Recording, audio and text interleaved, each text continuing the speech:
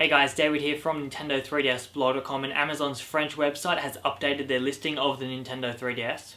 They've set the price point at 249.99 euros, which is equivalent to about 330 US dollars. But it is important to realize that the price will never be a direct conversion, so it's much more likely that the 3DS will still be about 250 US dollars. Although about $300 does seem sort of possible at this point, so you may want to prepare for that.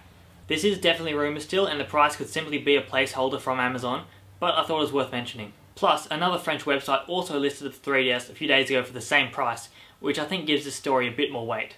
Anyways, that's it for now, just a really quick update. Make sure you check out Nintendo3DSblog.com for more news, and I'll talk to you later.